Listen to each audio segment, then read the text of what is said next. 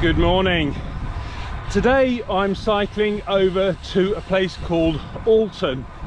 Now if you're a regular viewer of the vlog, you'll know that I cycled over there about six weeks ago. Uh, and on that day I took a particular route, but today I'm taking one that's slightly different. It's hillier and it's longer, so it's going to be a fair bit tougher.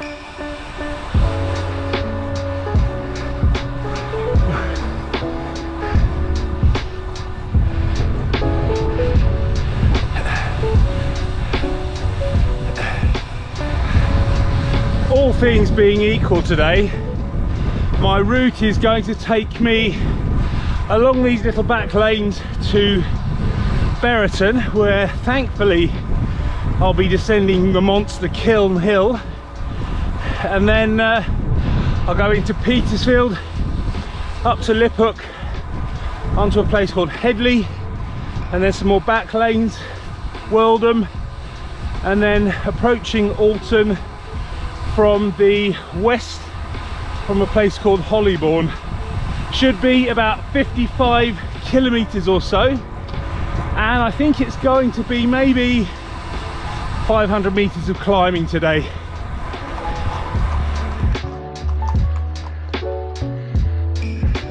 Afternoon.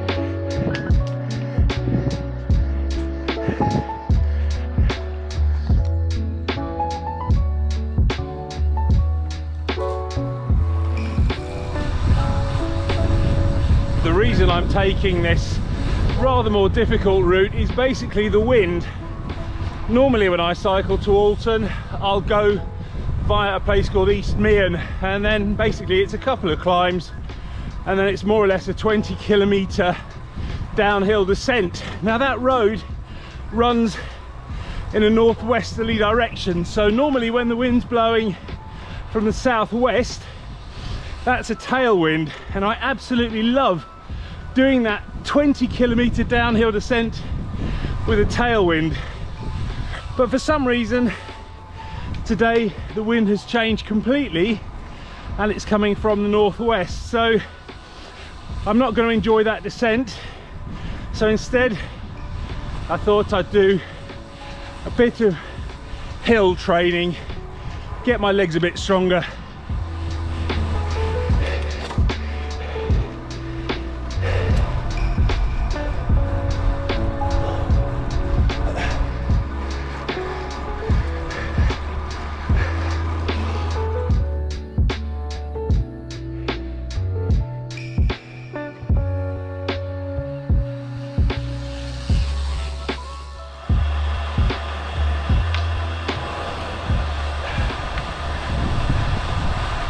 doesn't matter how many times I go down that descent of Kiln Lane I always find it terrifying. And I'm on the brakes. Today it particularly felt like the bike was going to sort of go over.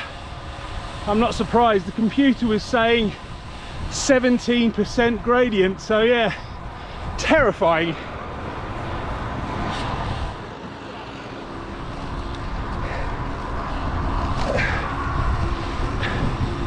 Well, that's me through the town of Petersfield, and it's just a long climb up to the rather imaginatively named village of Hillbrow. This climb up to Hillbrow is actually quite a toughie.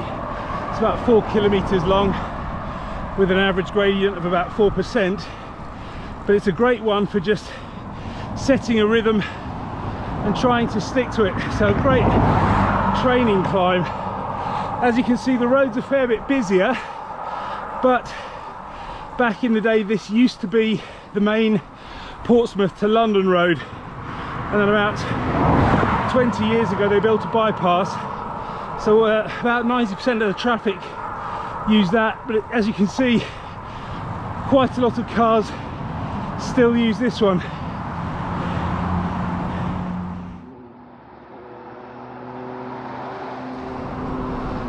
Well, there we go. That's me at the top of Hill Brow. And I have to admit that I'm fairly pleased with that.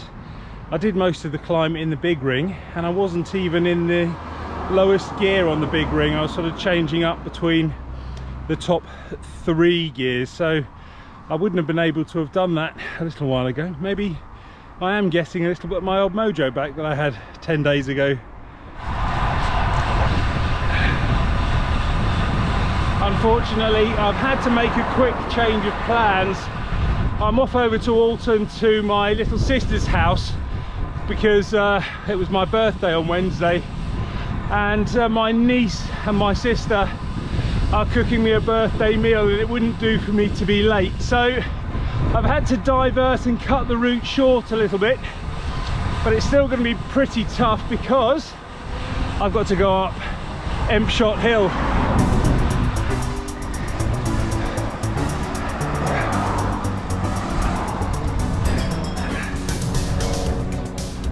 despite Empshott Hill being one of my favourites this time of day on a Saturday afternoon is probably not the best time to go up it because um, it's quite steep.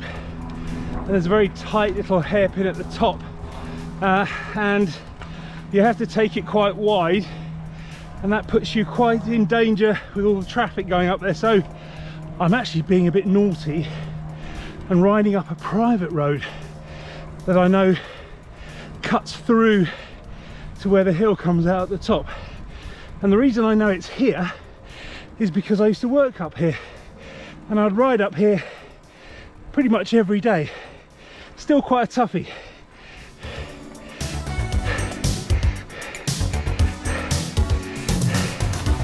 Blimey, that was a lot tougher than I remember. Mind you, the last time I went up there was probably 35 years ago. Topped out at about 11%. But of course, being a private road it's got the advantage of being completely traffic free although the disadvantage is that the road surface is really really scrappy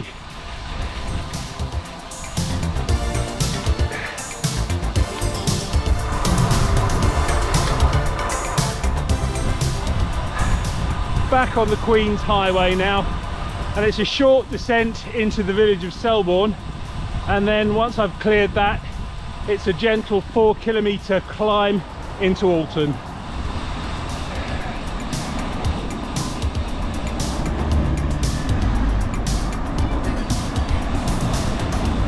Blimey, did I say that four kilometers to Alton was a gentle ascent?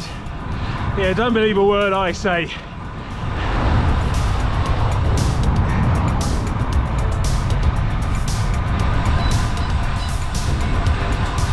It's that headwind making it especially hard today.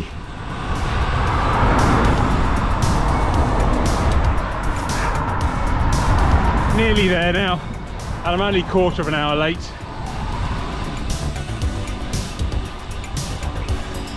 Blimey I don't mind admitting that was quite a tough ride today even though it's a very similar distance to the ride that I did over to Alton last time at 43 kilometers the wind made all the difference today. There we go. Today's ride's done and dusted. Thanks for watching and I'll see you on the next one